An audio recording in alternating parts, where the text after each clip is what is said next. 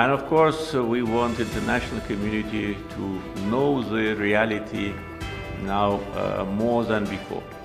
Because now when foreign diplomats, international media representatives are visiting the liberated territories, I think uh, they really see what uh, the occupation uh, created for our historical monuments, for uh, our cultural monuments.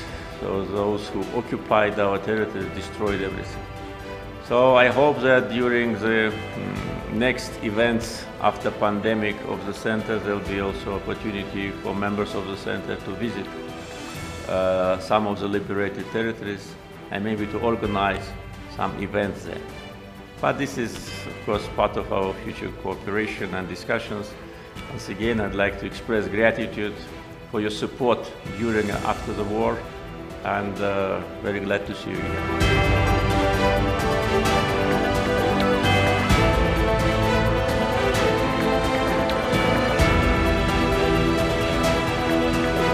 Bizə xarici nümayəndələr hər zaman deyirlər ki, Ermənistan cəmiyyəti e, birlik nümayiş etdirir və Ermənistan cəmiyyətində milli birlik. İndi biz görürük, haradadır bu milli birlik. Bir-birlərini itham edirlər, bu məğlubiyyətdə bir-birini günahlandırırlar, kütləvi həbslər baş verir. Amma nədənsə demokratiyadan dəm vuran bəzi e, qeyri-hökumət təşkilatları və bəzi hökumətlər buna göz yumurlar. Ermənistan rəhbərliyi indi e, gileylənir ki, onlara verilən silahlar yararsız idi. Bilirsiniz, kimisə günahlandırmaq hər şeydən asandır. Ancaq onu da deməlidirlər ki, bu silahlar onlara pulsuz verilmişdir, müftə verilmişdir. Eşitmişəm bir neçə gün əvvəl yenə də Ermənistan ordusunu canlandırmaq istəyirlər. Onların müttəfiqləri, onları modernləşdirmək istəyir. Nəyə görə? Kimə qarşı? Müharibə başa çatır. Əgər kimsə revanşist fikirlərlə yaşayırsa, bax bunu görəcək. Bu yerindədir. Və bizim səbrimizi sınamasınlar. Ermənistan ordusu qutardı, getdi, bitdi, yoxdur. Və olmamalıdır. Belə bir faşist dövlətdə ordu olmamalıdır. Və biz heç vaxt imkan verməliyik ki, bizim üçün hər hansı bir təhlükə yenidən yaransın, yaxud da ki, azad edilmiş torpaqlara qayıdacaq vətəndaşlarımız hər hansı bir risk hiss etsinlər. Biz bütün işlərə nəzarət edirik. Biz ordumuzu bundan sonra da gücləndirəcəyik. Yeni kontraktlar imzalanıb, ən müasir silahlar alınır, artıq onlar gətirilir. Dünyada hansı müasir silah varsa, onlar da artıq kontraktlanıb və Azərbaycana gətiriləcək. Biz bu texnologiyaları yalnız kütlələrin işıqlandırılması sektorunda deyil, həm də digər sektorlarda tətbiq edə bilərik. Xüsusilə indi azadlıq müharibəsindən sonra Azərbaycan hər şeyin dağıdıldığı azad edilmiş əraziləri yenidən qurmağa artıq başladığı dövrdədir. Mən dəfələrlə dediyim kimi, biz həmin ərazilərdə çox müasir infrastruktur, o cümlədən ağıllı şəhərlər, ağıllı kəndlər sistemi yaratmağa planlaşdırırıq. Proses artıq başlayıb. Ona görə də bizim müvafiq strukturlarımızla beynəlxalq şirkətlər arasında əməkdaşlıq üçün böyük imkan olacaq. Bu səbəbdən mən əməkdaşlığı davam etdirməyi və birinci layihənin ümidvaram ki, çox yaxın zamanda təhvil verilməsini səbirsizliklə gözləyirəm.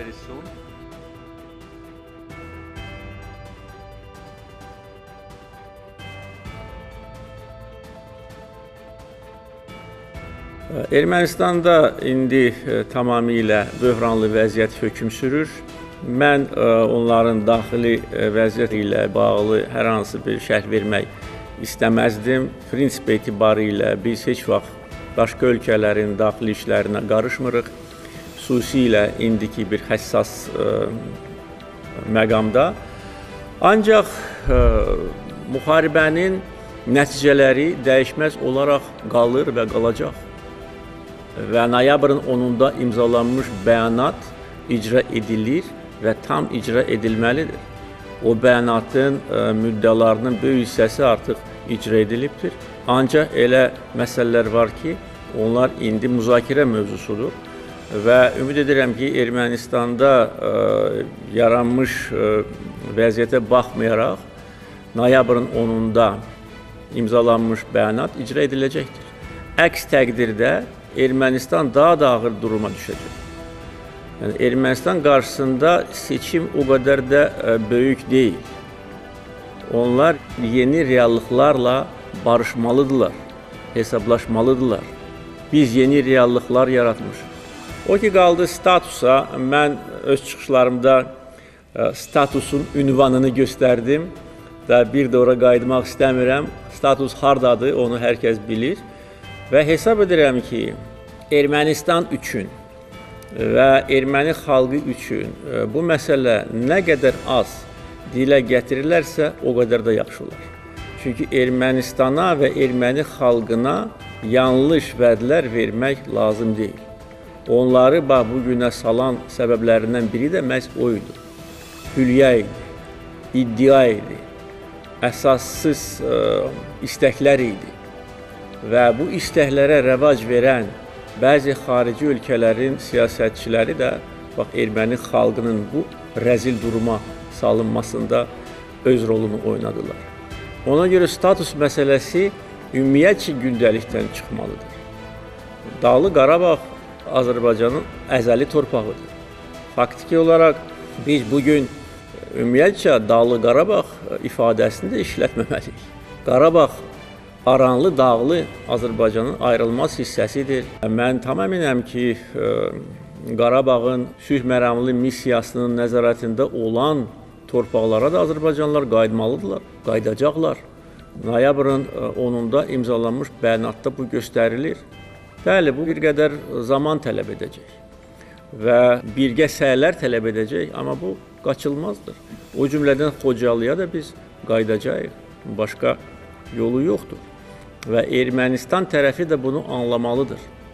Süni əngəllər ə, yaratmaq istəsə, ancaq özünə zərbə vurmuş olar. You don't give me the source of the report. You said, you know, it's very easy to accuse someone, even if you try to put it in the question.